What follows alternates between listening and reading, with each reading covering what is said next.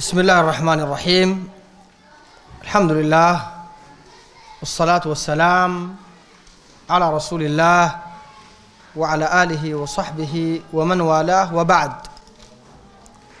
اليوم نحن موعودون مع الدرس الثاني عشر من سيرة النبي صلى الله عليه وسلم الباب اللي بناخذه اليوم ما وقفنا عنده المرة السابقة قال المصنف موت خديجة وأبي طالب. وما نال النبي صلى الله عليه وسلم بعد ذلك من الأذى وتسلط السفهاء عليه.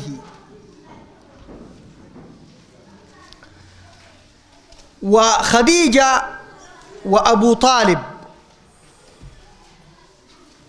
كان لهما الأثر الكبير جدا في حماية النبي صلى الله عليه وسلم. أما خديجة فكانت هي زوجه وكانت صاحبة المكانة في قريش وصاحبة الشرف وكانت محترمة في قومها. ونفع الله تعالى النبي صلى الله عليه وسلم بعقلها ورجاحة فهمها فكانت له سندا وعضدا. فقال المصنف ماتت خديجة أم المؤمنين بعد موت أبي طالب بأيام. بأيام قليلة جدا. قيل عشر أيام وقيل أقل. من عشر أيام. وطبعا موت أبي طالب كان بالنسبة للنبي صلى الله عليه وسلم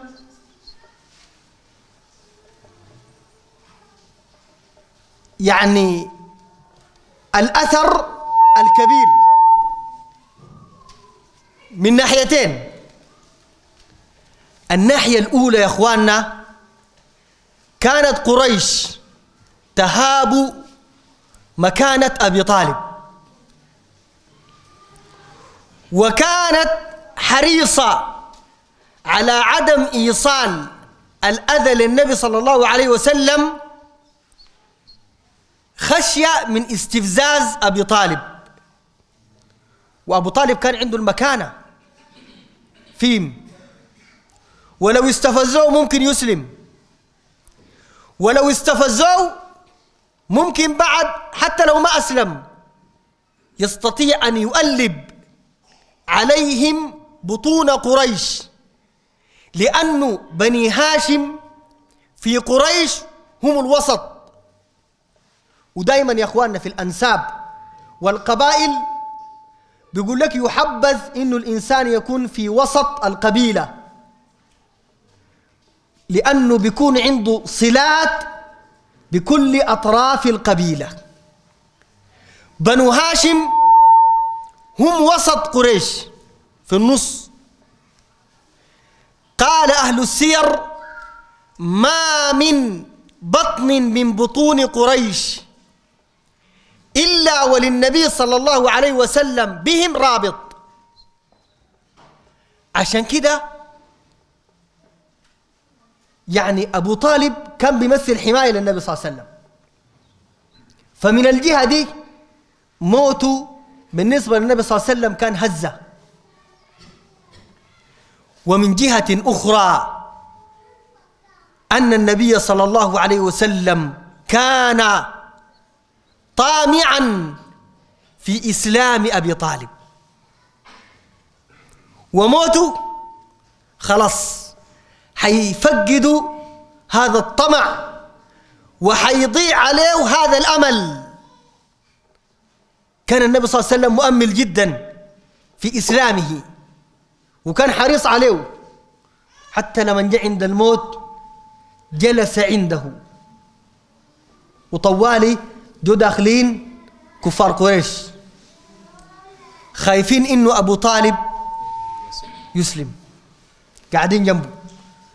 النبي عليه الصلاة والسلام قال له يا عم قل لا إله إلا الله. كلمة أحاج لك بها عند الله. وفي رواية كلمة أشفع لك بها. بس قول الكلمة دي أنا أشفع لك بعدين عند الله. كويس؟ صحبان معه أبو جهل عبد الله ابن أبي أمية المخزومي. وطبعا ده أسلم فيما بعد. لكن الاثنين قاعدين جنبه. قالوا له ترغب عن ملة عبد المطلب. وبقوا بذكروه بإرث الآباء. وطبعا يا إخواننا مسألة يعني ما كان عليه أبواتنا وأهلنا القدام وده الدين اللي جينا عليه الناس دي بتخلي كثير من الناس ما يتنازلوا. فأبو طالب بقى متردد. بين الاثنين. حتى قال للنبي عليه الصلاة والسلام ولقد عرضت علي. يعني الإسلام. ولولا الملامة أو حدار مسبة لوجدتني سمحا بذاك مبينا. فالنبي صلى الله عليه وسلم كان مؤمل لحد ما مات آخر كلمة قالها هو على ملة عبد المطلب. أبى يقول لا إله إلا الله. بعد ذلك كله النبي عليه الصلاة والسلام قال لأستغفرن لك ما لم أنه عنك. فنزلت الآية ما كان للنبي والذين آمنوا أن يستغفروا للمشركين ولو كانوا أولي قربى. من بعد ما تبين لهم أنهم أصحاب الجحيم. خلاص ما في طريقة يستغفر له.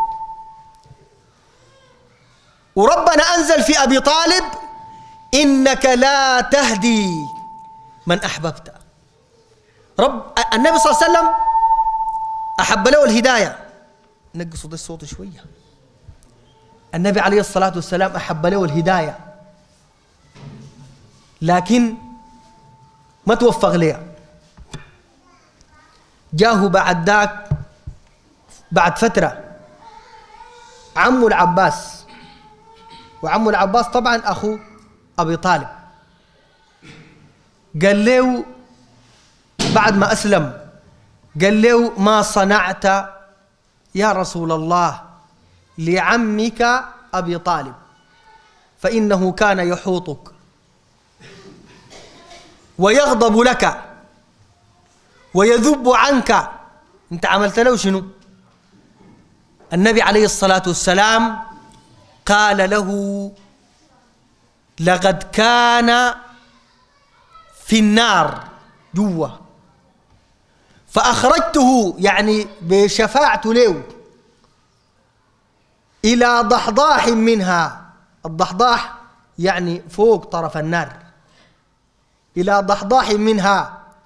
توضع له جمرة تحت أخمص قدمه. وفي رواية يلبس نعلان بس نعالين من نار ما عنده أي حاجة تانية. أو جمرة بيخطوها تحت الأخمص الأخمص ده الفرق تحت تحت الكراع في بطن الكراع تحت. في تجويف كده ده الأخمص. بخط له جمرة. قال يغلي منها دماغه. وإنه يرى أنه أشد أهل النار عذابا. وشايف رقبته شنو؟ أشد الناس عذابا. قال وإنه لأهون أهل النار عذابا. أخف زول في جهنم منو؟ أبو طالب. الفقهاء قالوا الحكمة في أنه يعذب في رجلينه لأنه ثبت برجلينه ديل على دين أجداده. ثبت دين ربنا عذبه في رجلينه ديل بعد ما مات جعل ابن أبي طالب ده ولده. قال يا رسول الله إن عمك الشيخ الضال قد هلك. بلا شوفوا الكلام ده كيف. ده أبوه. أبوه. قال له إن عمك الشيخ الضال قد هلك. النبي صلى الله عليه وسلم قال له كلمتين. قال اذهب فواره. امشي ادفنه. بس. عشان كده يا اخواننا موت ابي طالب مع انه جمع على النبي صلى الله عليه وسلم يعني مصائب فكانت المصيبة الأعظم بالنسبة له كونه يموت على الشرك. لأنه في النهاية أكان مات أبو طالب اللي بيحميه. النبي صلى الله عليه وسلم ربنا بيحميه. وما هو واقف عليه؟ حماية أبي طالب. ما هو واقف عليها وحماية ربنا له أقوى وأعز. ها؟ عشان كده تحسر النبي صلى الله عليه وسلم كان على عدم إسلام أبي طالب. لأنه يعلم إنه إنسان مات على غير التوحيد يوم القيامة ما عنده حاجة. دي النبي صلى الله عليه وسلم علمنا الأمة. إنه من يشرك بالله فقد حرم الله عليه الجنة ومأواه النار وما للظالمين من أنصار. ولا نصير ذاته ما في. ولا الدنيا دي كلها أكان مت على الشرك؟ ما تقدر تشفع لك بعدين. زول بيشفع لك ما في ولا مسموح له ذاته. يا أخي إبراهيم عليه السلام دعا ربنا. أه؟ قال ولا تخزني يوم يبعثون. قال لي ربنا ما تخزيني. قالوا يؤتى يوم القيامة بوالد إبراهيم اسمه آزر ده أبوه. وخالفوا. كان بيعبد الأصنام؟ بل سموه آزر لشدة عبادته للصنم اللي اسمه آزر. كان بيجيه الصنم بتاعه كده. يجي يوم القيامة جاء في الصحيحين قال النبي صلى الله عليه وسلم يؤتى إلى إبراهيم بذيخ ملطخ ده أبوه يحمل من قدميه. ويلقى في النار. فيقول إبراهيم عليه السلام يا ربي ألم تعدني أنك لا تخزني يوم يبعثون؟ وأي خزي أخزى من أبي الأبعد. ده أبوي. في خزي أكثر من كده؟ فربنا سبحانه وتعالى ما يقبل شفاعة إبراهيم ده الخليل. في منو؟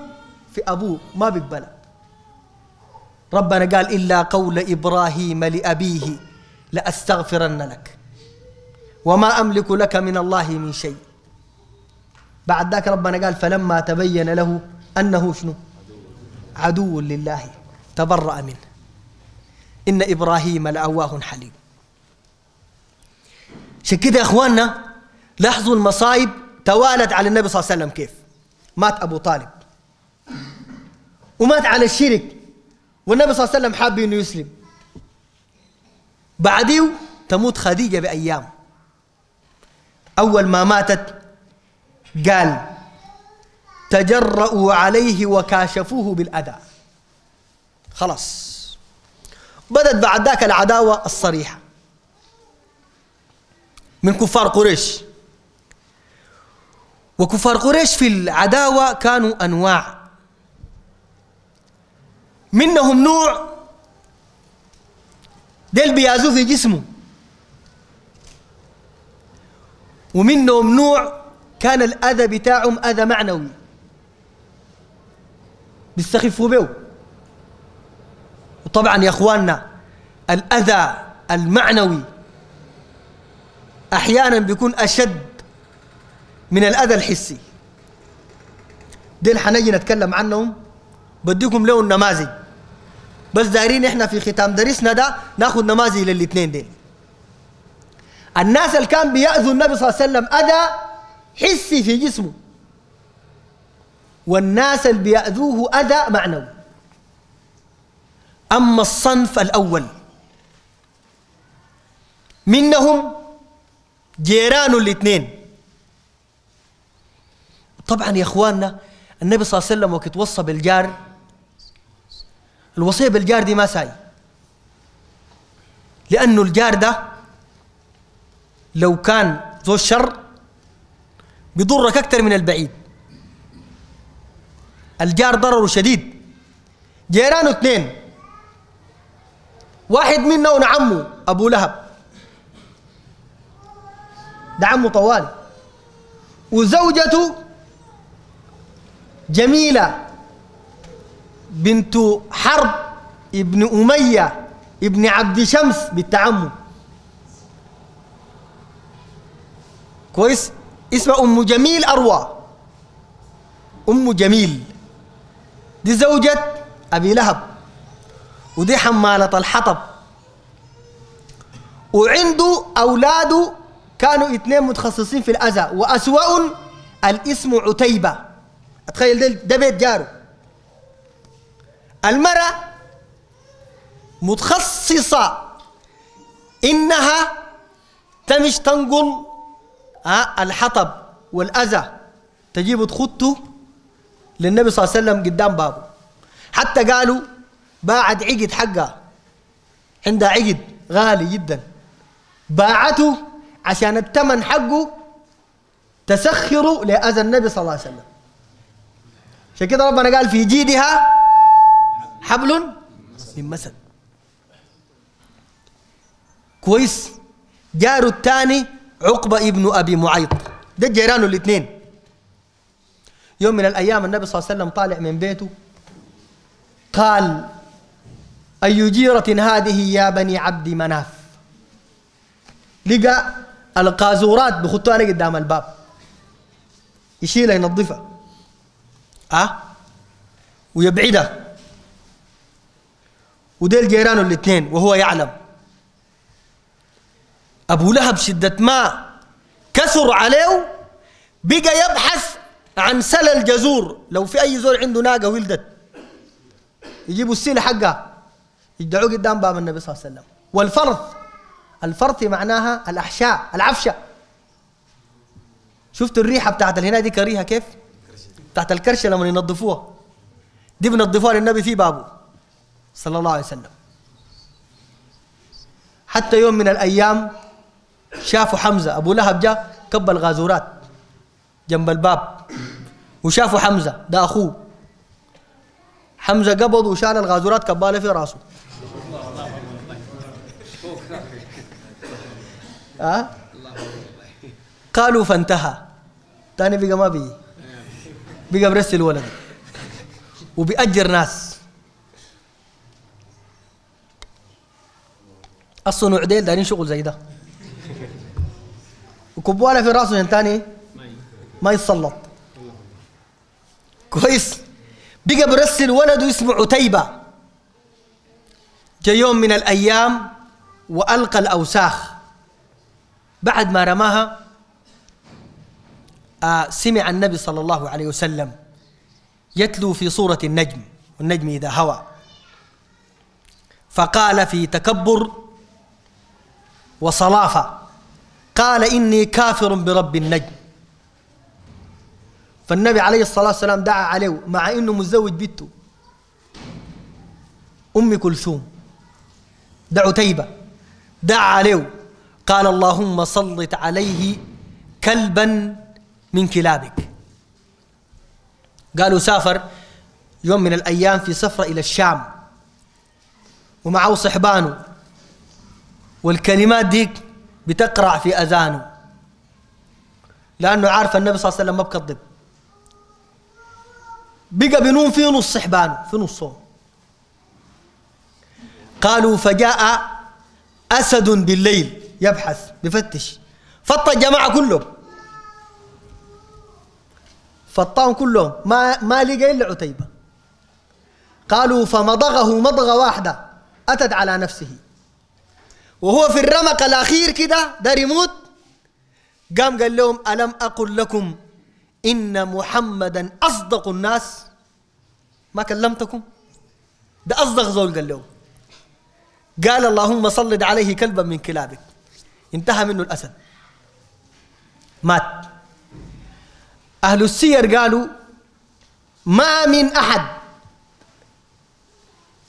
تطاول على النبي صلى الله عليه وسلم إما باللسان أو بالفعال إلا وكانت نهايته سيئة. أبو لهب الثاني ده أبو أبو عتيبة أصابه داء اسمه العدسة. الداء ده كأنه داء معدي. وكانت تتشائم به العرب. لو أصابك الداء ده ما بقربوا منك تاني. ولا بدي فنوك ذاته. زي الشغل بتاع الكورونا ده. وذاك أخطر منه. تشائموا بك طوالي. فمات أبو لهب. كويس؟ لما مات ما في زول قدر يحصله. حتى وجد الناس الرائحة. رائحته ضربت البلد. مشوا أولاده عشان خايفين من العار حفروا له حفرة ودفروه فيها جوا بيته ودفنوه انتهى نهاية سيئة. طيب عقبة ابن أبي معيط سيء جدا. ده يوم من الأيام كانوا جلوسا عند الكعبة. فجاء النبي صلى الله عليه وسلم يصلي فسجد. فقال أبو جهل من يأتي بسلى جزور بني فلان فيلقيه على محمد. من يجيب فقام عقبة ابن, ابن أبي معيط. قال لهم أنا بجيبه. فأتى به فألقاه على رأس النبي صلى الله عليه وسلم. وهو يصلي. فجاءت فاطمة رضي الله عنها فأزاحته من رأسه وهي تبكي. كويس؟ عقبة ده يعني الغريبة كان بينه وبين النبي صلى الله عليه وسلم محبة. وكان بيكرمه. وخاصة لما نيجي من السفر بيقوم بيعمل مائدة كبيرة عزومة يدعو لها الناس. وبخص النبي صلى الله عليه وسلم بالدعوة. فيوم من الأيام عمل العزومة بتاعته ودعا النبي صلى الله عليه وسلم فالنبي عليه الصلاة والسلام أبى يأكل. قال له حتى تشهد أن لا إله إلا الله وأن محمد رسول الله. لو ما شهدت الشهادة ما بأكل طعامك. طبعا عيب عند العرب. تجي في بيت وما تأكل طعامه. فشهد الشهادة. أول ما نطق الشهادة النبي صلى الله عليه وسلم أكل وطيب خاطر ومشى. رجع طوال إلى جماعته. عرفوا القصة. قال له أبي ابن خلف ده أخو أمية بن خلف. والاثنين زي ما بيقولوا هلنا ده تلتخبيو ده. تعيس خايب الرجل. أبي بن خلف وأمية ابن خلف. فأبي بن خلف قام قال لي عقبة قال له وجهي في وجهك حرام. يعني تاني أنا ما بقعد معاك ذاته. حتى تبصغ في وجه محمد. وترد إليه الشهادة. لو ما عملت كده تاني أنا ما زولك. التعيس مشى للنبي صلى الله عليه وسلم ورد عليه الشهادة وتفل في وجهه. قالوا فعاد إليه بصاغه. تفا كده رجعت له في وشه. فسود وجهه. ومات يوم بدر مقتولا. ونزلت فيه الآية يوم يعض الظالم على يديه. لاحظوا ربنا ما قال على أنامله. انت لما تكون ندمان بتعض راس اصبعك كده. ها؟ لا يده كلها. ده شدة ما ندمان بيفتح خشمه بداخل يده كلها جوا. يوم يعض الظالم على يديه. يقول يا ليتني اتخذت مع الرسول سبيلا. يا ويلتا ليتني لم أتخذ فلانا. وجات في قراءة أبين لأنه الدقة فيه مقلب أبي ابن خلف. ليتني لم أتخذ أبيا خليلا لقد أضلني عن الذكر بعد إذ جاءني. وكان الشيطان للإنسان خذولا. والله صحيح زول مخذول السبعة ديل شفت هو واحد من سبعة. ديل اللي جابهم في القصة هنا. ذكرهم المصنف وفي قصة عمرو بن العاص. سبعة كانوا قاعدين. والنبي عليه الصلاة والسلام جاء داخل عليهم. وبعد ذاك سخروا منه. ولما جاب سن الجزور وكباو قالوا بيقوا يضحكوا اي واحد بقع في الثاني من الضحك. منهم عقبة وأمية بن خلف وأبو الحكم بن هشام ده أبو جهل. وشيبة ابن ربيعة وعتبة ابن ربيعة والوليد ابن عتبة. الثلاثة دول بالمناسبة أولاد عم للنبي صلى الله عليه وسلم. الاثنين دول اعمام والوليد ده ولد عمه. قرابة شديدة. ديل بيقوا بيضحكوا بيتمايلوا قالوا السبعة ديل اللي دعا عليهم النبي صلى الله عليه وسلم بالأسماء. أول ما رموا عليه سن الجزور دعا عليهم بالاسم قال اللهم أهلك أبا جهل عمرو بن هشام وأمية بن خلف وفلان السبعة ذكروا. قالوا فماتوا جميعا يوم بدر. كلهم السبعة. وسحبوا في القليب حفرة كبيرة. سحبوهم رموم قالوا أمية إلا أمية لم يسحب في القليب لأنه كان بادنا. زول ده زول مانع. مانع شديد. لو جروا يده اليد ما بتجر الجسم معاه بتنقطع اليد. بلا شوفوا زول ده, صبة بس. زول زي الصبة. لو جروا منه أي عضو بينقطع العضو بس. بلا شوف الكلام ده كيف. ده بس يحفروا في محله. ها؟ أه؟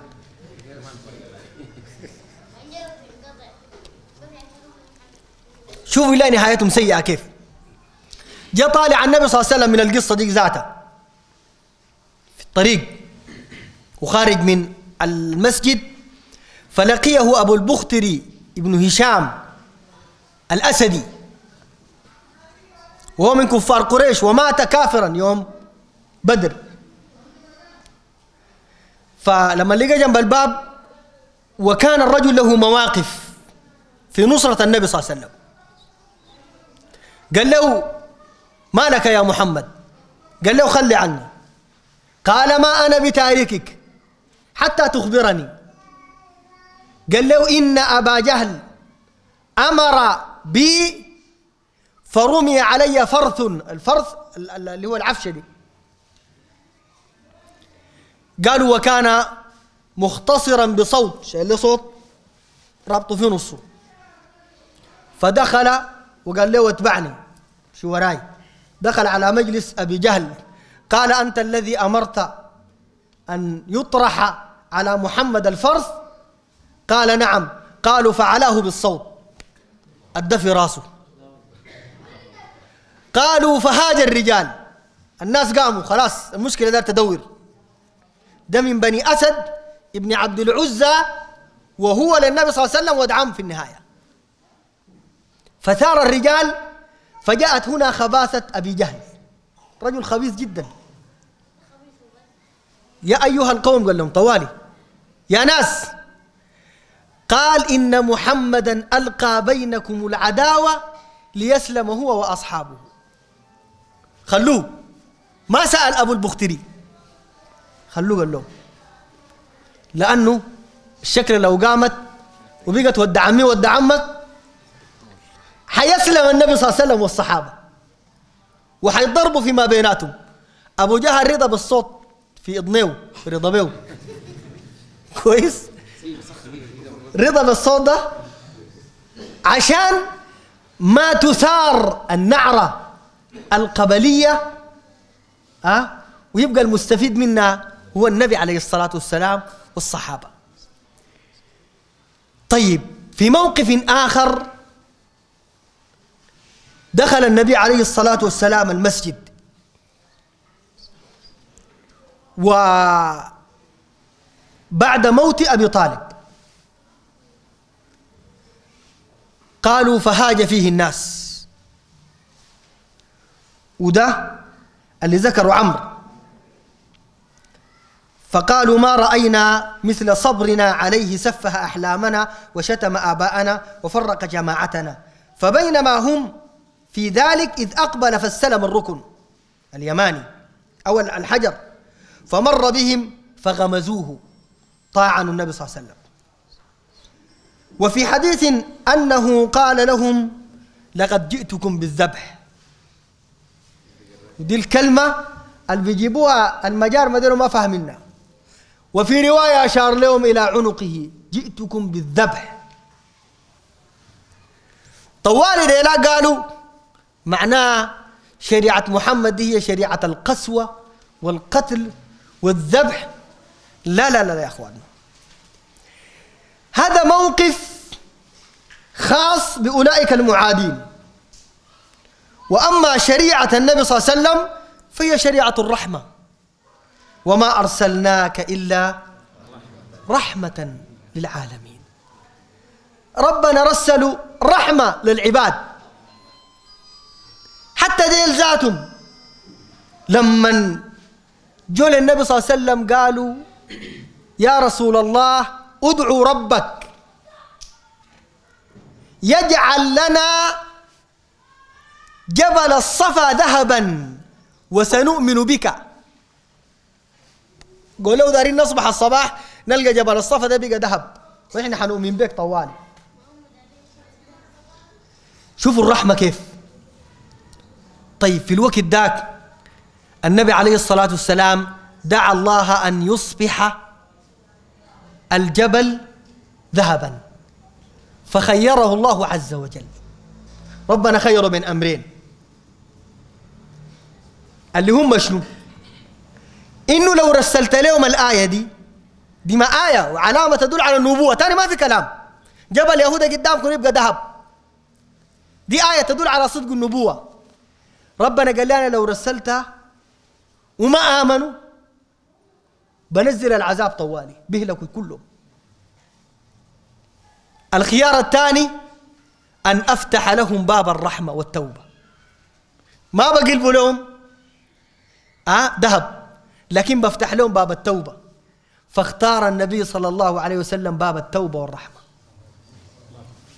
مع إنه أكان ممكن يقول لربنا يدعوه يقول له أجعل لهم ذهب والما بيؤمن سوي فيه أي شيء. عشان كده ربنا قال وما منعنا أن نرسل بالآيات إلا أن كذب بها الأولون. أي أمة كذبت بآية الرسول بعدها بيجي شنو؟ العذاب طوالي. لكن من رحمة النبي صلى الله عليه وسلم بالأمة دي إنه ما طلب الآيات الكبرى. أصله ما طلبها ربنا قال له لو شئت جعلته ذهبا. قال لي لا افتح باب الرحمة وباب التوبة. لأنه ديل حتى لو ما أسلموا هم حيجوا يسلموا أولاده وما من واحد من ديل إلا وأولاده من أفاضل الصحابة. حتى عقبة ابن أبي معيط ولد الوليد ابن عقبة ده أخو عثمان بن عفان من الرضاعة. رجلا كان صالحا تقيا. أولاده يا أخي أبو جهل ولد عكرمة. صحابي جليل من قادة المسلمين يوم اليرموك. أمية بن خلف ولد صفوان بن أمية صحابي جليل. يا أخي سهيل بن عمرو كان مع الناس ذاته ومن قادتهم بل من أفصح كفار قريش كان. وكان خطيب وكان المقدم بتاعهم في الصلح. عمر بن الخطاب يستأذن النبي صلى الله عليه وسلم قال له سهيل ده آذانا بلسانه ده خليني أكسر سنايا والسنين اللي قدام ديل. اقلع اللي عشان تاني ما يخطب فيهم ولا يقول شعر ولا يسمعهم كلام سمح. فالنبي صلى الله عليه وسلم قال له دعه خليه. شوف من رحمته. بقى سهيل بن عمرو من شعراء الإسلام ومن خطباء الإسلام. فالرحمة هنا يا إخواننا. لكن ديل من الرحمة إنه يتخوفوا. من رحمة لأنه ديل لو خلاهم يتجبروا ويتكبروا ويعتوا ديل ما بيخلوا الرحمة ها تنتشر في الناس ولا الدعوة. عشان كده خوفهم قال لهم جئتكم بالذبح فخافوا جميعا. قالوا إن محمد لا يكذب. يا ناس أعملوا حسابكم. قال لهم محمد ما بكذب. كويس؟ ف أبو بكر الصديق رضي الله عنه ذكر عنه, عنه المصنفين قال وفي حديث أسماء فأتى الصريخ إلى أبي بكر فقالوا أدرك صاحبك. لما النبي صلى الله عليه وسلم ضربوه ويتلموا عليه. في رواية قالوا هذا يضربه وهذا يجأه. يجأ كلمة يجأ بالهمزة الفوق. معناه كأنه بيطعنه بيده في بطنه زي الطعن كده في البطن. وهذا يتلتله يمسكه من تلابيبه ويهزه وكله هو داير يصلي في المسجد بيعملوا فيه ده كله. أها قال فخرج من عندنا وله غدائر. غدائر دين الضفائر الصحابة كان عندهم الضفائر بيعملوها لما الواحد يكون مشغول عن الاعتناء بشعره في السفر وفي المشاغل بيقوم بيضفروا ضفائر عشان ما يحمل الوسخ. دي كان عادة عادة عند العرب. وله غدائر أربع فخرج وهو يقول ويلكم أتقتلون رجلا؟ أن يقول ربي الله. في أثر جميل عن علي بن أبي طالب. ذكروا البزار وأبو نعيم في الفضائل. أثر جميل جدا. والأثر ده نديه هدية للشيعة ويزول بأيد الشيعة. وبيعتقد إنه في مشكلة بين الصحابة. الصحابة ما كان بيناتهم في مشاكل. وبيعتقد إنه علي رضي الله عنه كان بيفضل نفسه على أبي بكر الصديق والله كذاب. يعرف له مقامه رضي الله عنه. القصة دي يتكلم عنها علي رضي الله عنه. فيما نقل أبو نعيم. قال قال علي في مجلسه والناس حضور. قال ألا أخبركم من أشجع الناس؟ قالوا من؟ علمنا. قال أشجع الناس أبو بكر الصديق. قال رأيته. وقريش قد هجمت على النبي صلى الله عليه وسلم. هذا يضربه وهذا يتلتله. وهذا يجأه. يقولون له أنت الذي تزعم أن الآلهة إله واحد. أنت تقول كده؟ در تجعل الآلهة كلها إله واحد؟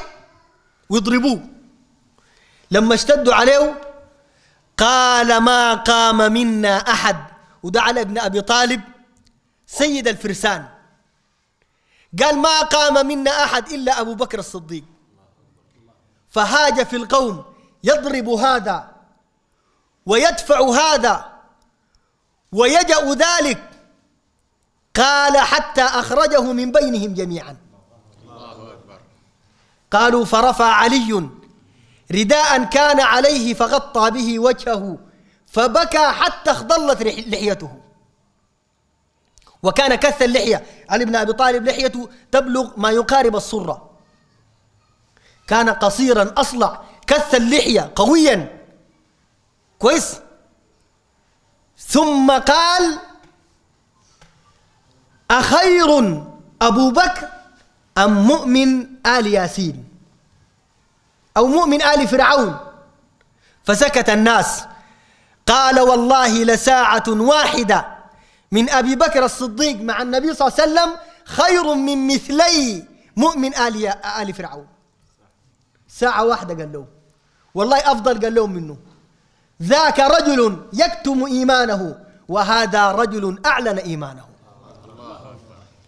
كويس؟ شوفوا الناس اللي آذوا النبي صلى الله عليه وسلم كلهم. ما سلم منهم أحد. واحد منهم اسمه الأسود ابن عبد المطلب ابن عبد العزى ده برضه من أهل النبي صلى الله عليه وسلم. ده والد زمعة ابن الأسود اللي قام في نقد الصحيفة. وكان ده رجل مؤذي بيسخر. ربنا نزل على النبي صلى الله عليه وسلم إنا كفيناك المستهزئين. ده منهم اسمه الأسود ابن عبد المطلب الرجل ده كان النبي صلى الله عليه وسلم يجي داخل ومعاه الصحابة يقول لهم لقد جاءكم الملوك. بالسخرية يعني. الذين يملكون ملك قيصر وكسرى. لقد جاءكم أهل الجنة. هذيلك أهل الجنة جو. شوفوا ذول ساخر وقليل أدب كيف؟ النبي عليه الصلاة والسلام دعا عليه قال اللهم اعم بصره وافجعه في ولده.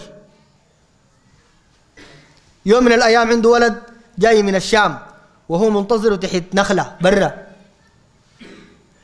قالوا فنزل عليه جبريل فلطمه في وجهه. أدى واحدة في عينه. لمن جاء؟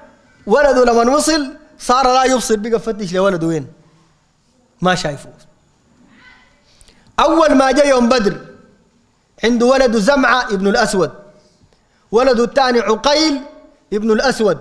أما زمعة فقتله أبو دجانة سماك بن خرش الأنصاري. وأما عقيل فقتله حمزة وقيل علي. أولاده الاثنين اتفجع فيهم. وعمى ومات على ذلك. آخر واحد نذكره اسمه الأسود ابن عبد يغوث. ده برضه كان بيسخر من النبي صلى الله عليه وسلم. ولما نيجي داخل المسجد بيقعد بيضحك عليه. فهذا الرجل أصابه داء. الحر السموم. سودت له وجهه. وكان رجلا أبيض. أول ما دخل بيته أهله فتحوا له الباب لقوا وشه أسود قفلوا الباب في وشه. قالوا فرجع فهام في الصحراء فمات عطشا. ما سلم منهم ولا واحد. ربنا قال إن شانئك هو الأبتر. وقليلين أدب القاعدين الليلة ديل كلهم لون يوم. أي زول يسيء الأدب مع النبي عليه الصلاة والسلام. من المتفلسفين الليلة والمتنطعين وأصحاب الدعاوى الجديدة من التطور والحضارة اللي بيسخروا من سنة النبي صلى الله عليه وسلم واللي بيسخروا من لبسه واللي بيسخروا من شريعته وبيسخروا من السنن والآداب اللي علمنا لها قل لهم ليكن يوم كلكم. إن شانئك هو شنو؟ الأبتر المقطوع. بتنقطع في الدنيا دي. وربنا بعاقبك. وبجازيك شر جزاء. بسبب التطاول على هذا المقام الشريف مقام النبوة. مقام نبينا محمد عليه الصلاة والسلام. بأي نوع من أنواع الاستهزاء؟ في واحدين ما بيوجهوا السخرية عديل لكن يقوموا يسخروا من السنن ويسخروا من الزي واللباس. وبعض الأحاديث النبوية واحدة بتتكلم سخيفة وحقيرة. كويس؟ بتتكلم وتعيب حديث النبي عليه الصلاة والسلام لما قال لجابر تزوج يعني آه، بكرا تلاعبها وتلاعبك. قالت يعني خديجة ما كانت بتلاعبه ولا شنو؟ سيئة الأخلاق قبيحة مقبوحة. لكن إحنا بنبشرها. ربنا قال إن شانئك هو الأبتر. بتنقطع في الدنيا دي هنا. وبعدين حق الله يوم القيامة داك بيعرفه الله. ربنا اللي بيعلمه. حق الله يوم القيامة بيعلمه الله وعقاب أي زول بعدين داك بيعلمه ربنا سبحانه وتعالى. نحن نكتفي بهذا القدر وطولنا.